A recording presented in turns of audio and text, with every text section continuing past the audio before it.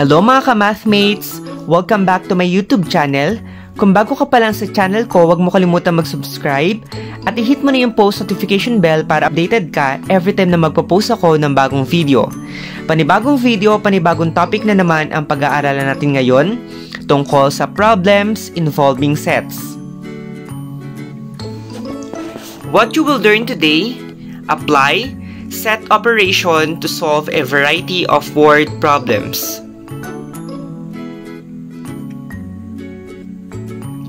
Solve word problems involving sets with the use of Venn diagram. So let's start our lesson with exploration activity. So entitled Trip to Palawan. So sana all ay nakakapunta ng Palawan. So we all know that Palawan is one of the beautiful places here in the Philippines. So it is well known for its mga nice places katulad ng mga beaches. So we have El Nido, we have the Coron, and we have the Tubataha Reef. So here is our problem. A group of 50 students went in a tour in Palawan province. Out of 50 students, 24 joined the trip to Coron. 18 went to Tubataha Reef. 20 visited El Nido. 12 made trip to Coron and Tubataha Reef. 15 saw Tubataha Reef and El Nido. 11 made a trip to Coron and El Nido and 10 saw the three tourist spots. So, ito yung isa sa mga problem na related sa, uh, sa sets. Kung mapapansin nyo, napakadaming given, right? So, paano natin ma-analyze yung gantong problem for us to be able to answer those guide questions na related dito sa ating problem? So, ganito yung ating gagawin. So, una, lists all the given, then draw the Venn diagram. So, Venn diagram yung nakakatulong sa pagsasolve ng mga problems sa sets. So, ilista muna natin lahat ng given. So, 10 students. So, yung sa tatlong tourist spots, which is the El Nido, Coron, and the Tubataha Reef. So, 11 students, both Coron and El Nido. 15 students, Tubataha Reef and El Nido. 12 students, Coron and Tubataha Reef. 20 students, El Nido.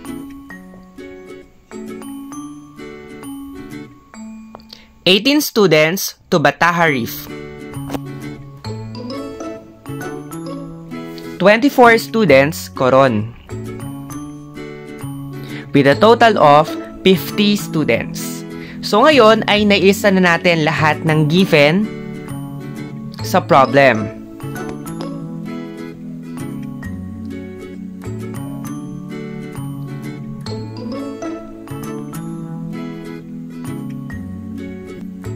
So ngayon, gagawa tayo ng Venn diagram. So we have the rectangle, so that will serve as our universal set. And then yung ating first circle, dinote natin siya as C for Coron. And then our next circle, na nag-overlap dun sa C ay T for Tubataha Reef. And then for our last circle ay letter E for El Nido. So, una, ilalagay natin yung 10 students sa may 3 tourist spots. Again, nag-start tayo doon sa may 3 tourist spots. So, that is C intersection T intersection E. So, saan natin ilalagay? Doon sa may pinaka gitna. Ibig sabihin, ito yung mga students na pumunta doon sa, sa tatlo. Next, we have 11 students for Coron and El Nido. So that is C intersection E. So doon tayo titingin sa dalawang circle, sa C at E.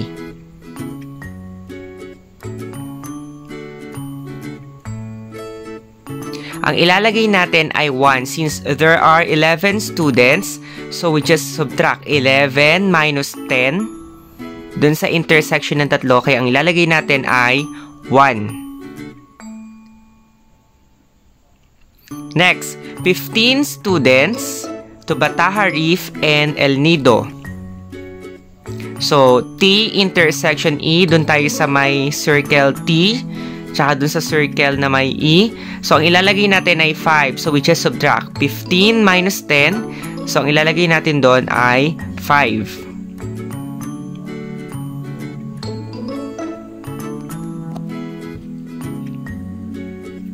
Next, 12 students for Coron and Tubataha Reef. So, doon tayo sa, pin, uh, sa may taas, sa dalawang circle sa taas, yung C at T. So, that is C intersection T. So, since there are 12 students, we just subtract 12 minus 10. Kaya ang ilalagay natin doon ay 2. Next, 12, uh, 20 students sa El Nido. So, El Nido ay 20 students. Ayan, i-add lang natin yung 10 plus 1 plus 5, subtract natin sa 20. Para malaman natin yung El Nido only. So, 10 plus 5 plus 1 is 16. So, 20 minus 16. Ilan is student yung pumili sa El Nido? So, apat. 18 students sa Tubataha Reef. So, ilan kaya ang pumili ng Tobataha Reef only? So, we just add 10 plus 5 plus 2. So, we have 17. So, 18 minus 17 is 1. So, isa lang ang pumili sa Tobataha Reef.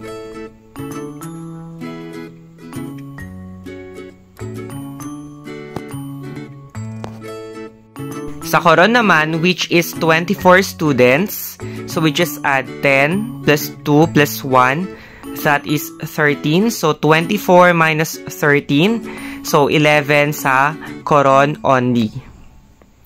And then, lastly, so we have a total of 50 students. We just add 11 plus 2 plus 1 plus 1 plus 10 plus 5 plus 4. Again, i-add natin lahat ng numbers na nasa loob ng circles, yung pumili ng Coron, Tubataha Reef, at nung El Nido, or kaya naman nung dalawa, or nung lahat. So, which is 34. And then we subtract it from 50, so that is 16. Yun yung ilalagay natin sa labas ng circle, doon sa may rectangle, so sa universal set. So, that is neither.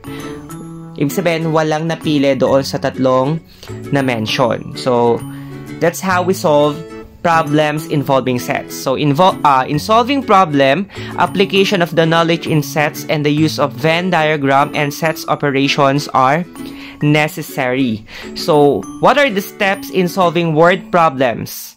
1. Analyze the problem. 2. Identify the unknowns. Number 3, represent or use Venn diagram if possible, katulad na ginawa natin kanina. And 4, label your answers properly. So, those are the steps in solving word problem. Okay, sabayan nyo akong sagutan yung uh, ating given problem. So, there are 40 students in a class. 12 of these students like mathematics, and 25 of them like science.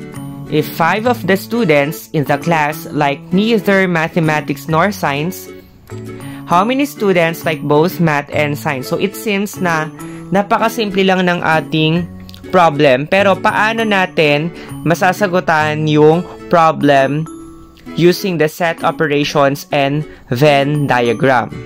So ang tinatanong, ilan daw estudyante ang pares na gusto yung math and science? So again, so let us list all the given to draw the Venn diagram. So 12 students like mathematics, 25 students like science, 5 students, neither, ibig sabihin wala sa dalawa yung kanyang gusto, a total of 40 students.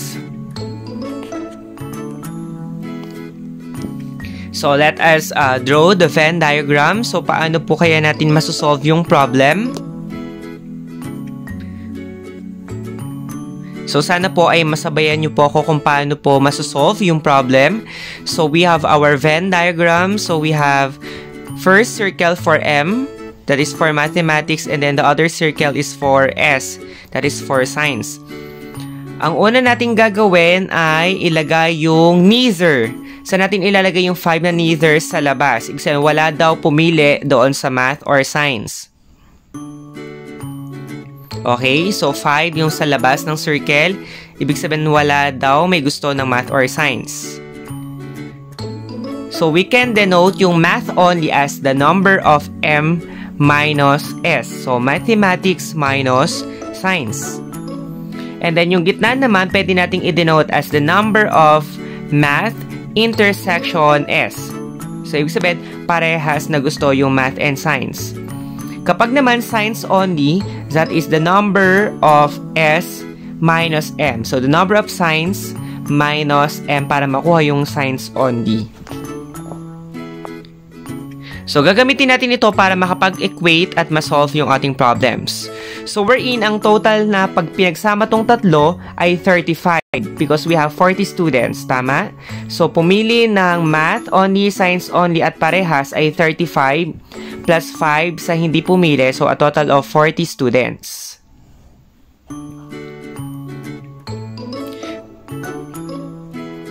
So, it seems nagagawa tayo dito ng systems. No, systems ang gagawin natin para makapag-solve tayo. Wherein, eto. So, yung number of M minus S at yung number of math intersection science ay 12. Because there are 12 students na pumili ng math. So, pwede rin naman gawin to sa science. So, the other, uh, other way around. So, ano po yung gagawin natin? So, gagawa tayo dito ng equation.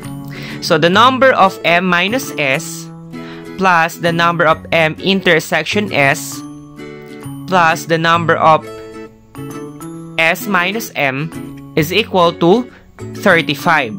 Ano yung ating equation 2? So yung kinuha natin kanina na number of m minus s plus the number of m intersection s equals to 12.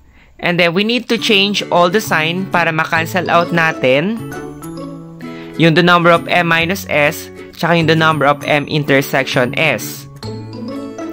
And then, bring down natin yung number of s minus m equals to 35 minus 12. That is 23. Ibig sabihin, 23 yung like ang science only. So, ilalagay natin siya doon sa may circle. So, 23. Since 25 students like science, So, ilan yung ilalagay natin sa gitna? So, we just subtract. So, 25 minus 23. Dalawa. So, ibig sabihin, 23 yung pumili ng science only at dalawa yung pumili na gusto yung science, gusto rin ng math. So, ganun din naman sa math. So, 12 yung math. So, therefore, ilan lang yung pumili ng math only? So, there are 10. Okay, so pag pinag-add natin yung 10 plus 2 plus 23, ang total nun ay 35. So, sagutan na natin yung tanong kanina. So, thus, two students like both math and science. So, sana ay meron kayong natutunan kung paano mag-solve ng problems uh, involving sets. So, it's your time to answer your activity. So, have fun answering.